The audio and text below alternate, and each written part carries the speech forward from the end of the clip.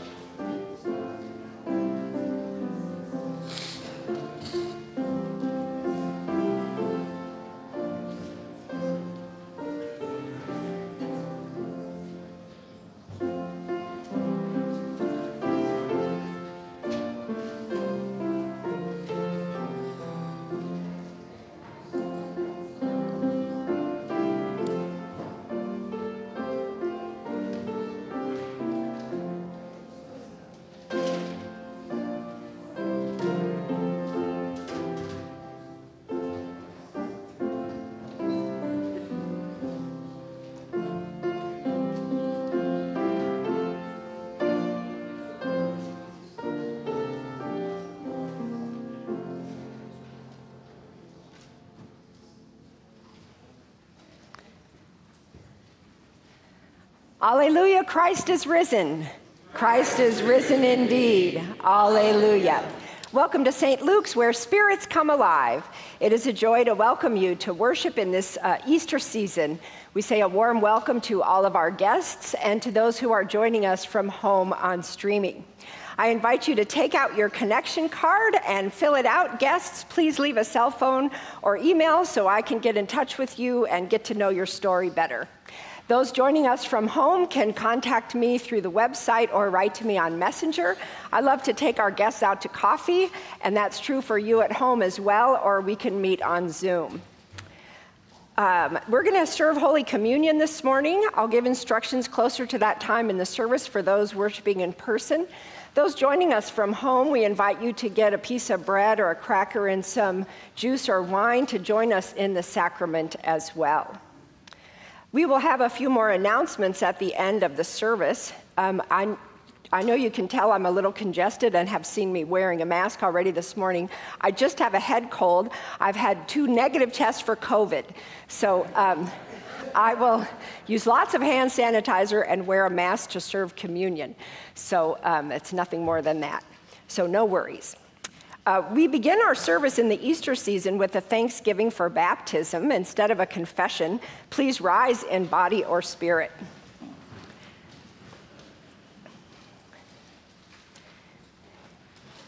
Joined to Christ in the waters of baptism, we are raised with him to new life. Let us give thanks for the gift of baptism. We give you thanks, O God, for in the beginning you created us in your image and you planted us in a well watered garden. You brought liberation through the waters of the Red Sea, and in the desert you gave us water from a rock. When we did not know the way, you sent the Good Shepherd to lead us to still waters. At the cross, you watered us from Jesus' wounded side. And on this day, you shower us again with the water of life. We praise you for your salvation through water, for the water in this font, and for all water everywhere. Wash us in your forgiveness, grace, and love. Satisfy the thirsty and give us the life anew that only you can give. Alleluia, Christ is risen. Christ is risen indeed. Alleluia. Amen. Please turn and face the processional cross for our gathering song this joyful Easter tide.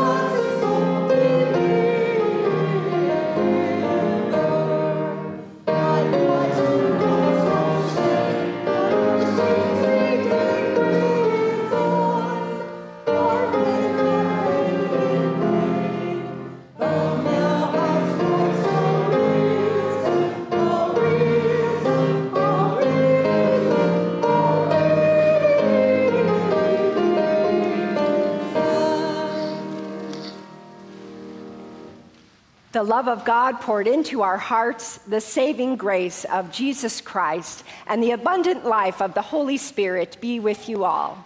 And also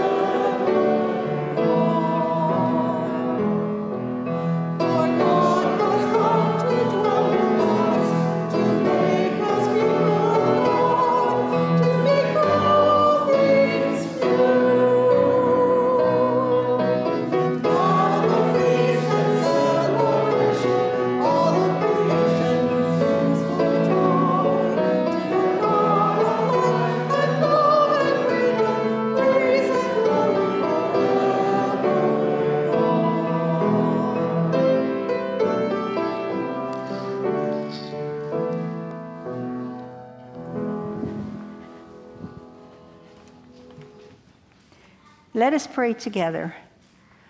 Almighty God, with joy we celebrate the day of our Lord's resurrection. By the grace of Christ among us, enable us to show the power of the resurrection in all that we say and do, so others may know new life. We pray in Jesus' name. Amen.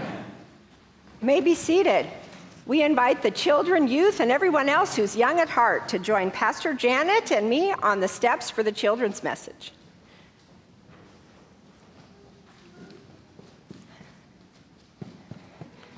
All right. Here we go. Hi, Sayel. Good morning, Ellie. What a beautiful dress you have with hearts on it. Ellie's wearing a beautiful dress with hearts. And here comes um, Bryn's cousin. I don't know his name. And here comes Bryn. Coda. Okay. Well, ha- I'm happy to see all of you today. You look wonderful on this joyful Easter tide. We're still in Easter, aren't we? Okay, now I'm going to ask you a question. Here's to test your memory. Ready? On the night that he was betrayed, Jesus had supper with his best friends, the disciples, right? And one of the things he said to them was, I give you a new commandment. Because they had the Ten Commandments already, right? And what was his new commandment? That you. No? it's supposed to be a heart, sorry. Johnny? Love. Heart. love one another. That you love one another. Say it with me. Love, Love one another. another. Okay? So, one of the things we know about love is read this for me. Love is kind, right? Love is kind. It says it in the Bible, Levi.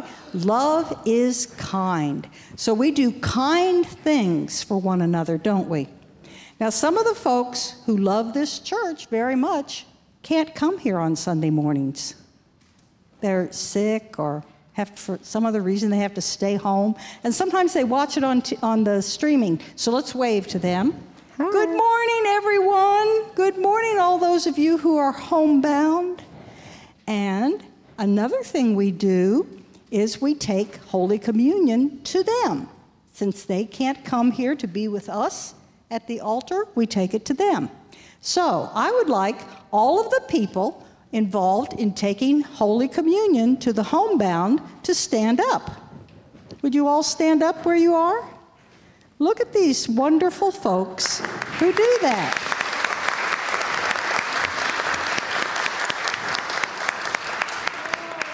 And there are others who aren't here, but they do it also. Okay, so they have to have they have to have the, the Holy Communion to take, don't they? And we're going to use ones that are on the altar. So in order to do that, I'm going to put these up there on the altar, and Pastor Linda's going to help me. So we get them in just the right place so they can be blessed. And we'll say, the children have helped to bless these kits of Holy Communion to take to those who can't be here, who are the homebound, as an act of kindness in love. Because what's our commandment to do? Love one, another. And what else? Love heart. That's right. Use your heart to love one another. Excellent. Okay, now you get to go to Luke's Learners. All right. We're all going to run out of church like that because we're so excited to serve Jesus in the world. Thank you, Pastor Janet and children. we continue with the reading of God's holy word. A reading from 1 Corinthians. Your boasting is not a good thing. Do you not know that a little yeast leavens the whole batch of dough? Clean out the old yeast so that you may be a new batch, as you, are, as you really are unleavened. For our paschal lamb, Christ, has been sacrificed. Therefore, let us celebrate the festival, not with the old yeast, the yeast of malice and evil, but with the unleavened bread of sincerity and truth. Word of God, word of life.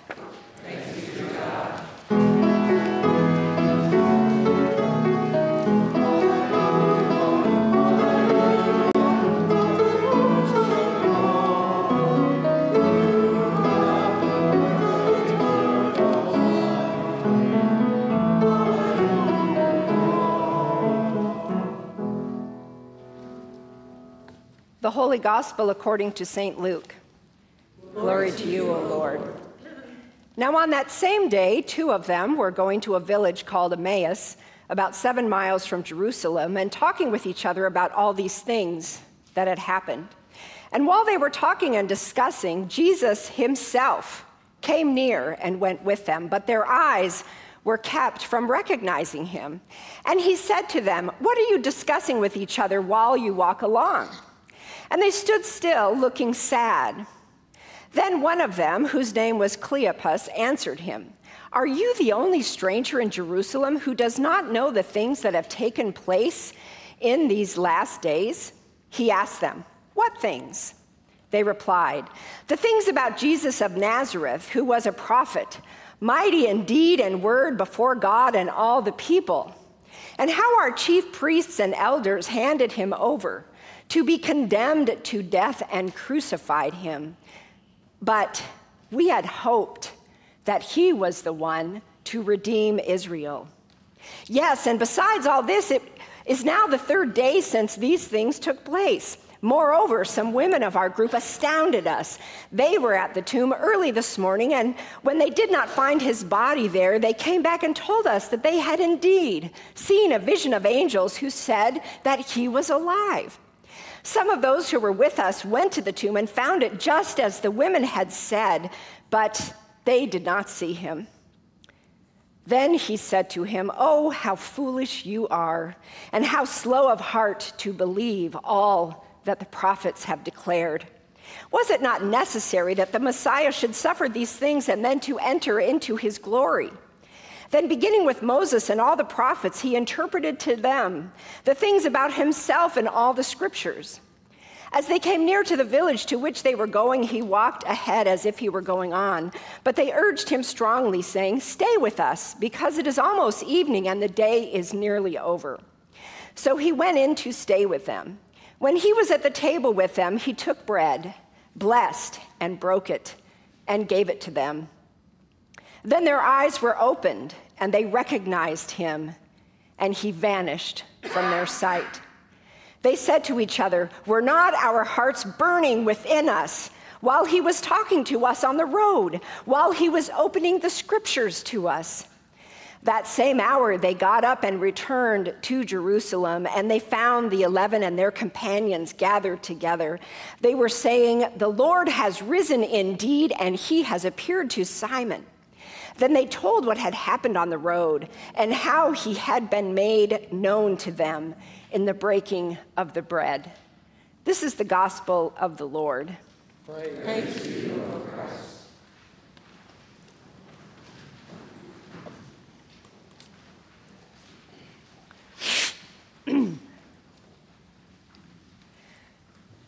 Last week, I mentioned briefly that when I was a freshman in college, it was the campus pastor who told me that I should think about becoming a Lutheran pastor. And uh, he was leaning against the doorframe of his office in the campus ministry house. And when I grasped what he was saying to me, I saw a light above his head and I had this knowing feeling in my chest. And I thought to myself, that is exactly what I am supposed to do with my life. It was a moment of revelation. My parents had never seen a woman pastor before, and they were not so sure about this idea. And our most recent church that we had um, had our membership at, because we moved a lot, was a Missouri Synod congregation. Well, my parents knew me better than anybody. So I began to think that maybe this conviction of the heart that I felt about becoming a pastor was really just heartburn. Take two Tums, walk away, find another career. My parents, uh, my freshman year, I said this last week too, um, lived in Brussels. So I spent a year living in Brussels after my freshman year of college, where my dad was working. And then after that, I transferred for my sophomore year of college to a Lutheran college in northern Minnesota. Because I had walked away from being convinced of my call to be a pastor, I double majored in psychology and political science and history, creating two pathways out of the church. I could become a psychologist and I could go to law school. I was really working this walk away thing. Um, but I was really looking forward to chapel at a Lutheran college because I thought this is really going to be good. And so, one of the first services that I went to, the campus pastor read a children's book called Freddie the Falling Leaf. I was dumbfounded. He, instead of speaking to the real life issues that we are struggling with as college students about becoming adults, developing identity, vocational discernment, I could go on. We were given saccharine stories and superficial platitudes. When I needed something to encourage me with my parents living halfway across the world, something to help me discern what I was supposed to do with my life, the church was not pulling me in, it was helping me walk away with sappy crap. I don't like sappy spirituality now. I certainly didn't like it then either. I wanted to take that stupid book and hit the campus pastor in the head with it, with it when I walked out of chapel. I would say, Take me at 20 years old. Okay, it, it wasn't pretty. Be glad you didn't know me then.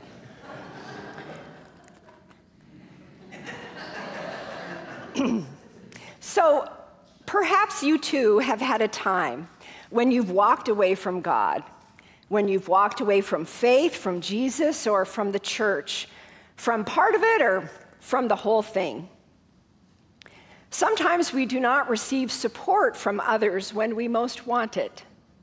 Sometimes we need support from the church or from a faith community, and it is not forthcoming. Or worse, people in the church hurt us, and we wonder where is God in the mess of this? Nothing makes sense. We are disappointed. We are in pain. We're mad. We want to hit people with a children's book. Not good. And, and the only option that we can see is to walk away, to take a break, to find a new path. But it's especially hard when the church or a ministry or a congregation disappoints us because we merge that experience with God. And it feels like God has forgotten about us or God has hurt us. And that to me is the worst spiritual feeling that there is. Our gospel reading today tells the story of two disciples, Cleopas and another disciple whose name we're not given. And they also walk away. And they do it on the very first Easter morning, no less. Apparently, they did not believe the testimony of the women who came from the empty tomb in their excitement over seeing a vision of angels telling them that Jesus had risen from the dead. Other disciples also went to the tomb and they found it just as the women had told them. So it was clearly possible that the story was true. Wouldn't you want to stay in Jerusalem and find out if the story was real, discover the facts? But no, these two disciples are in pain. They're stuck in their story of grief and feeling forgotten. Jesus had died, he was not the Messiah. God had forgotten all about them. And all they could think about was how Jesus' mission had failed them. We had hoped that he was the one to redeem Israel, but it didn't work. He died, he was crucified. In their disappointment and in their grief, they walked away from the empty tomb. They walked away from the testimony of resurrection. And they walk away from their community, which is trying, trying to believe that maybe something new just might be happening. When we walk away, we expect God to walk away from us because we imagine that God's patience and love and forbearance is akin to ours, which is not a lot, right? That's where the book whacking comes in. God's patience must be about as long as mine. So if I'm walking away, God must be too. But that's not what the risen Jesus does, does it? Is it? While Cleopas and his companion are headed to Emmaus, away from the empty tomb, away from resurrection, away from the church, away from relationship with Jesus and their whole community, the risen Jesus follows them. The risen Jesus finds them on the road, and the risen Jesus joins them on their journey out of Jerusalem. Honestly, whose God does this? Jesus says, if you're going to run away, I'm going to run away with you. What an awesome God. And so he does. Jesus is like, okay, I'm running with you then. And so Jesus engages them in conversation and he listens to their broken hearts. And he teaches them and illuminates their own faith to them while they're doing what? Still walking away still running away. And he just loves them and goes with them and runs away with them. That is just an awesome image, isn't it? I mean, it's just glorious.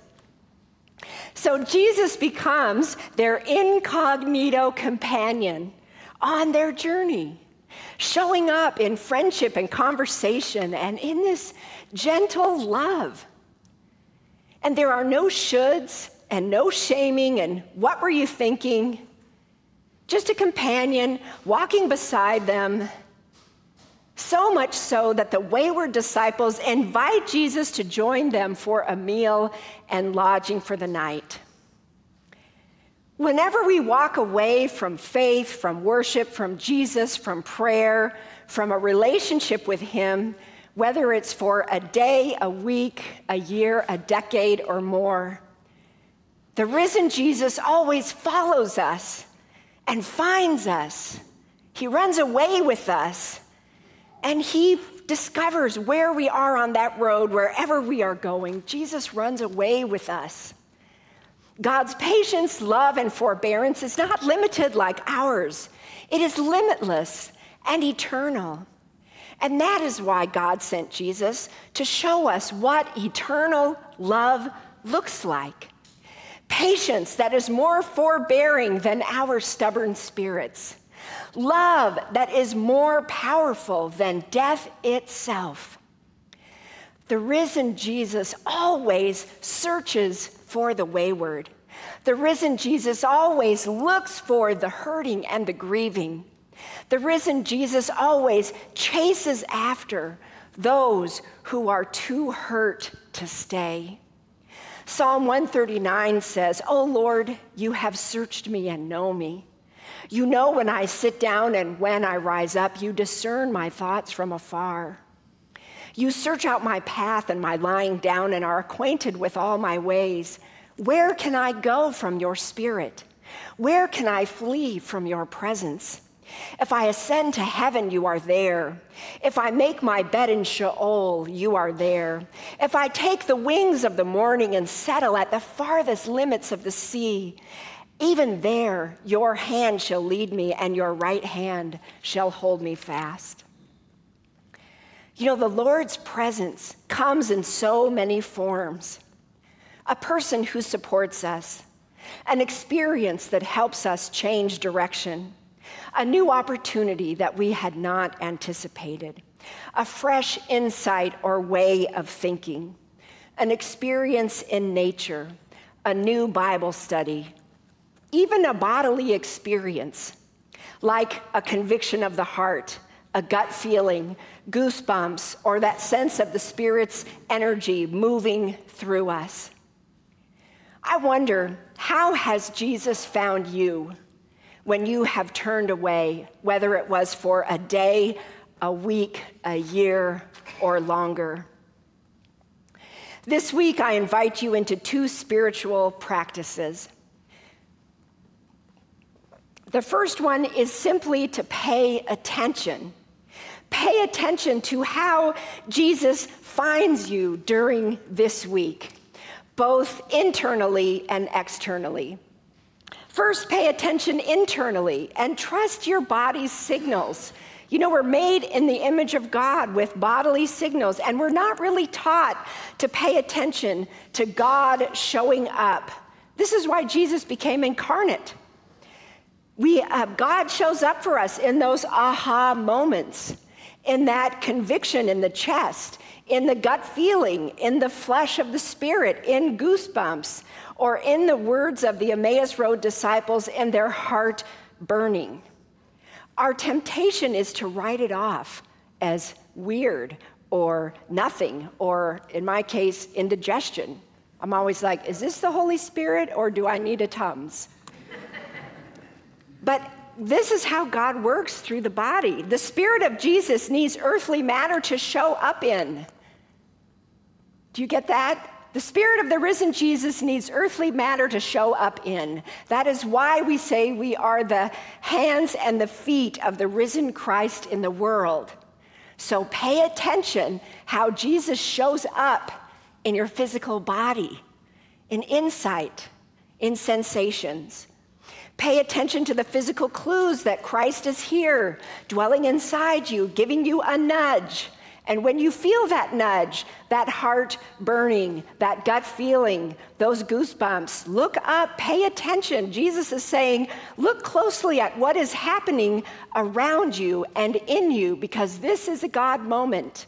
And are you paying attention to it? Are you taking note that God is showing up for you in this moment and has something to show you? See it, notice it, learn from it, embrace it. God loves you, God is here for you. What is God showing you? And then pay attention externally at the people around you, the conversations that you have, the nature that you see, the music that you hear, the love that you experience, the opportunities that come your way, the events that are unfolding before you, the moments that you experience. Where do you see good? Where do you see love? Where do you see God at work? All of these things are moments of the risen Jesus showing up on the road of your journey. We see, I think I said this last week too, Jesus wants us to get this apparently. We see what we are looking for. God wants us to be looking for God showing up for us. Okay, practice number two. This is harder. Practice forgiving the church and other Christians for failing you. This is harder than it sounds because we want Christians, we want the church, we want ministry institutions to be better, to be less sinful, to do fewer things wrong and more things right. So maybe start with one resentment that you are hanging on to. We forget that people are just people, full of their own issues and hurts. And we forget that their mistakes, their pain, their stupid chapel services, or lousy church behavior does not speak for God, does not always speak for God. We forget that every institution, no matter how holy it or we try to be, is still human and therefore equally prone to sin, to failure, to brokenness, just like, well, we are right? Right. The difference, the difference is not that we in the church do not sin, not that Christians do not sin, but that we have a process in Matthew 18 for talking about it, for repenting, for having conversation, for asking for forgiveness, for offering forgiveness, and for living in reconciliation. I've had to practice this numerous times in the six years that I've been the pastor here. I've made many mistakes. I've had to talk to many of you and say, I'm sorry I didn't do what I said I would, I forgot. Or I didn't do what I should have done. Or I said something I shouldn't have said. I've had to apologize to many of you. I have received your forgiveness and we have reconciled. And the wonderful thing about practicing this is that's when it gets really great, doesn't it? Because we have much more meaningful relationships, much more profound community, much deeper love. And that's when we actually have the power to change the world because then we are truly practicing Christ like love. Do you get that? Don't you experience that in your deepest relationships where you have experienced deep forgiveness and reconciliation? Don't you have a better relationship when that happens? Okay. Okay, all right, just checking, right? Right? Anybody who is in a deep, intimate relationship knows that it's deeper when you have forgiveness and reconciliation, right? That is the mission of the church. We're doing that on a larger scale here. And when we do that here in this setting and with other Christians, now we have the power to change the world because we are embodying Christ like love. And then people say, oh, here, they're doing it differently, right? The pra- best criticism of the bad is the practice of the better. So we're not perfect here, but we practice repentance and reconciliation with each other. We are all a work in progress. So, you know what? I rarely liked chapel in college. It, ne- it never got better. But a friend told me who the best preacher was in town at the local church, and Jesus found me there. I had great professors who mentored me, and Jesus found me there. I went on an urban semester in Chicago, and Jesus found me in the inmates I tutored in Cook County Jail, in the African American Lutheran Church on the west side of Chicago, where I volunteered, and in the people at the homeless shelter, where I worked on weekends. And pretty soon, I discovered how much Jesus mattered to them and how much Jesus mattered to me. And one day, quite accidentally, I stopped saying, if I go to seminary, and said, when I go to seminary. And the decision was out of my mouth before I had consciously chosen it. But the conviction of the heart came back because Jesus found me wherever I was. And my parents, well, they were both in tears the first time I served them communion at my internship congregation. And they bought the champagne for my ordination reception. so the risen Jesus finds all of us on our journey wherever we are. And my parents uh, could never have been prouder that they have a female Lutheran pastor for a daughter. The two Emmaus Road disciples do not recognize Jesus until he breaks bread with them. And ultimately, the risen Jesus finds us in this meal where he calls us by name. He calls us by name. It's why I call you by name when I give you communion. And he says that forgiveness and the love that he brings to each of us, he does it personally to you as an important member of this great community of the body of Christ. And so, as we receive Jesus' body and blood today, we accept his incognito companionship. Amen. And we accept his constant presence. And we will experience this internally, and we will see him all around us as Jesus finds us over and over and over again wherever we are. Let the church say, Amen. Amen.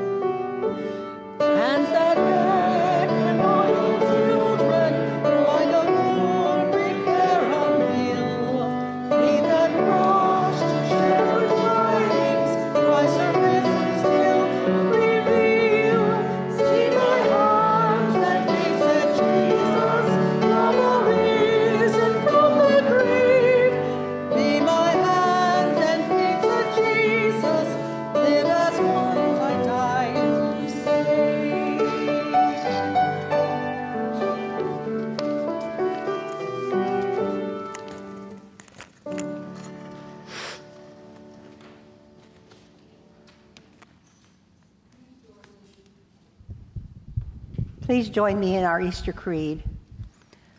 I believe, in the God of Easter morning, who awakes us from our darkest dreams and leads us into the light of a new day, who meets our pessimism with stunning hope of angelic proclamation.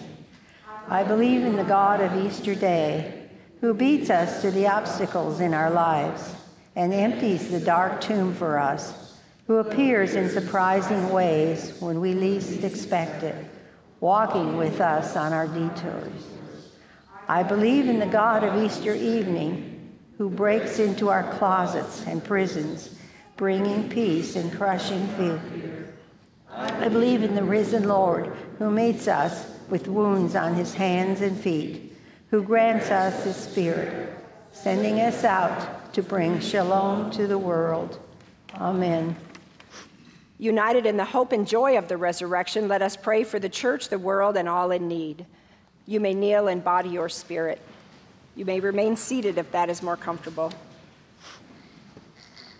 Ever present Lord, help us to trust that Jesus finds us even when we walk away. Help us to see his presence even when we turn in the opposite direction. Make every meal, every new bloom of spring, every experience of love and goodness, however small, a potent reminder that your loving presence permeates our lives and the whole creation.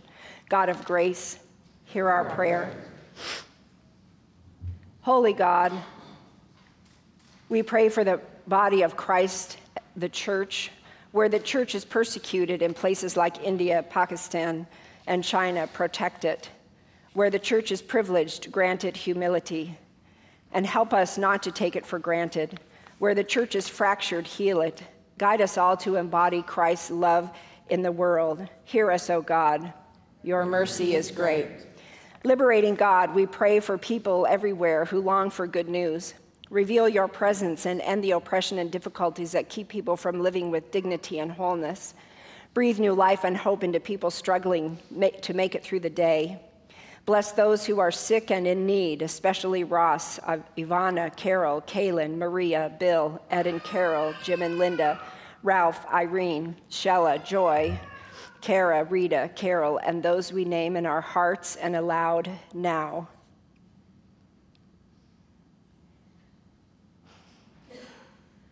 Hear us, O God. Your mercy is great. Loving God, we pray for this community of faith and for your spirit in our midst. Feed us at your Easter table with your presence and fill us with your wisdom, that we may reveal your presence in the breaking of bread and in our food ministries, carrying out your mission in Richardson with energy and imagination. Hear us, O God. Your mercy is great. Eternal God, we remember those who have gone before us in death, especially Mary Knoshog and Kim Sherwood Comfort the Chateau and Ewell families at the death of their loved ones, and comfort all who grieve. Renew our trust in your promises that we live with courage and compassion until we join the saints in eternal life. God of grace. Rejoicing in the victory of Christ's resurrection, we lift our prayers and praise to you, Almighty and eternal God, through Jesus Christ, our risen Lord. Amen. Amen. And now may the peace of the risen Christ be with you always and also with you. Please turn and uh, face the balcony and wave a sign of peace to those who are joining us from home and serving in the balcony in audio and technology and photography. Then you can turn and uh, wave a sign of peace or greeting or handshake to those uh, worshiping near you. Uh, then you can be seated for the offering, and we are so grateful for all of the gifts toward the uh, mission of our congregation, which is independent and self supporting. Uh, you can use the QR code in the bulletin. Those who are joining us from home can um, mail in your offering, or you can go to our website and click Give.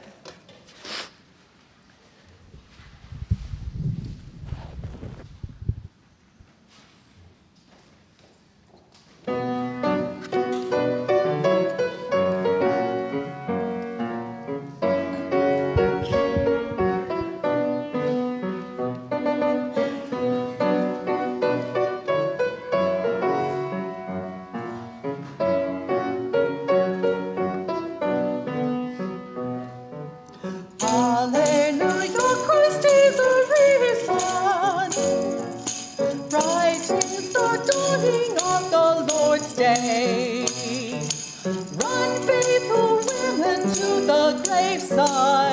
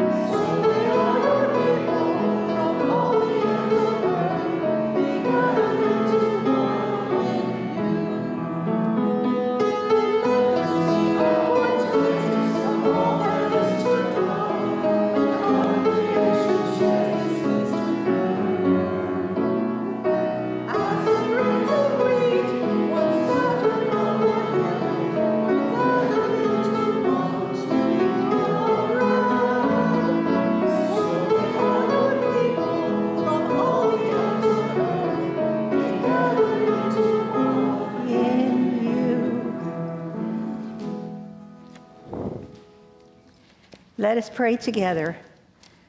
Blessed are you, O God, ruler of heaven and earth. Day by day you shower us with blessings.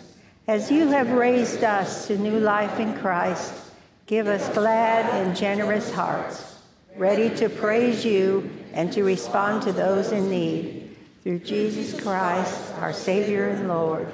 Amen. The Lord be with you. And also with you. Lift up your hearts. We lift them to the Lord. Let us give thanks to the Lord our God. It is right to give our thanks and praise. Holy, living, and loving God, we praise you for creating the heavens and the earth. We give you thanks for Jesus, who, living among us, healed the sick, fed the hungry, and with a love stronger than death, gave his life for others. Those worshiping at home may lift your elements with the words of institution. In the night in which he was betrayed, our Lord Jesus took bread and gave thanks. He broke it and gave it to his disciples, saying, Take and eat. This is my body given for you. Do this for the remembrance of me. Again, after supper, he took the cup, gave thanks, and gave it for all to drink. saying, This cup is the new covenant in my blood. It is shed for you and for all people for the forgiveness of sin. Do this for the remembrance of me. Remembering, therefore, his life giving death and glorious resurrection, we await your promised life for all this dying world. Breathe your spirit on us and on this bread and cup. Carry us in your arms from death to life, that we may live as your chosen ones, clothed in the light of Christ. Amen. Lord, remember us in your kingdom and teach us to pray together. Our Father in heaven, hallowed be your name. Your kingdom come, your will be done, on earth as in heaven. Give us today our daily bread. Forgive us our sins as we forgive those who sin against us. Save us from the time of trial. And deliver us from evil. For the kingdom, the power, and the glory are yours, now and forever. Amen. Jesus Christ, risen from the dead, gives everyone a place at the welcome table. Alleluia. We come to the feast. You may be seated. Everyone is welcome at the table, regardless of church history or denomination or background. Come up the center aisle to receive the bread. You can ask for gluten-free wafer, uh, gluten-free bread. Proceed to the communion server on the same side on which you're um, seated. You can have white grape juice or red wine. Return to your seat by the side aisle and throw away your cup in the trash. If you cannot come forward, you will be served in the pew at the end. Those communing at home can receive communion now. Take and eat. This is the body of Christ given for you. Take and drink. This is the blood of Christ shed for you.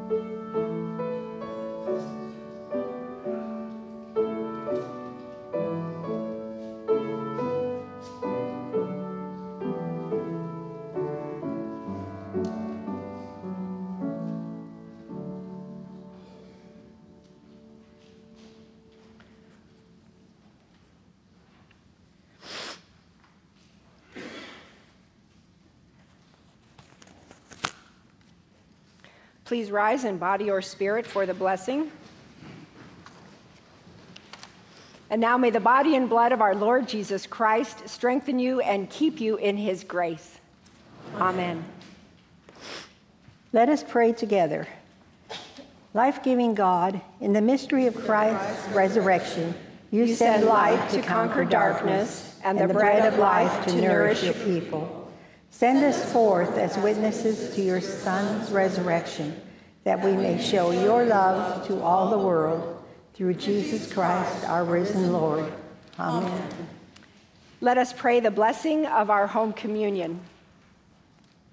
Gracious God, loving all your family with a mother's tender care, as you sent the angel to feed Elijah with heavenly bread, bless those who set forth to share your word and sacrament with those who are sick and homebound. In your love and care, nourish and strengthen those who will receive this sacrament, and give us all the comfort of your abiding presence through the body and blood of your Son, Jesus Christ our Lord. Amen. you may be seated. I'm going to call forward Sam Sherrod and his whole family because we're going to say a blessing and a prayer upon him uh, because he has completed his Eagle Scout and his honor court is this afternoon in the Congregational Life Center at 3 o'clock. And while they come forward, I'm going to say two other announcements. Adult Ed resumes next week, and today we're going to meet with um, young adults and families in the Adult Ed room with the evangelism team for a feedback session and lunch. So if you are in that age group, uh, please join us for lunch in the adult ed room, and we're going to talk about future mission and have lunch. So, um, okay, those are my two announcements. All right, Sam, how about this? Eagle Scout of St. Luke's right here.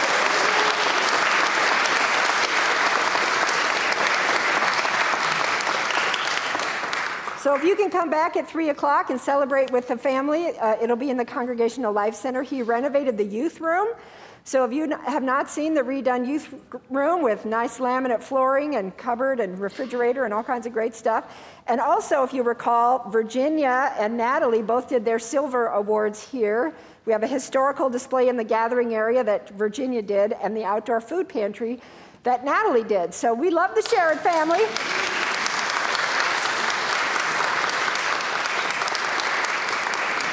So um, we're just so honored that you are so, such awesome, faithful, Christ centered people. And right now we're going to say a blessing upon Sam as you celebrate your Eagle, um, Eagle Scout honors today. Let us pray. Gracious God, we thank you so much for the Sherrod family, for their faithfulness to you, for their walk with Christ, and for their service in this church and in the world. Today we lift up Sam and we give thanks for his service, for his hard work, for the beautiful youth room that he chose to do his Eagle Scout project to serve St. Luke's. We rejoice in his gifts. We pray for your blessing upon him today at the celebration. May his heart be full.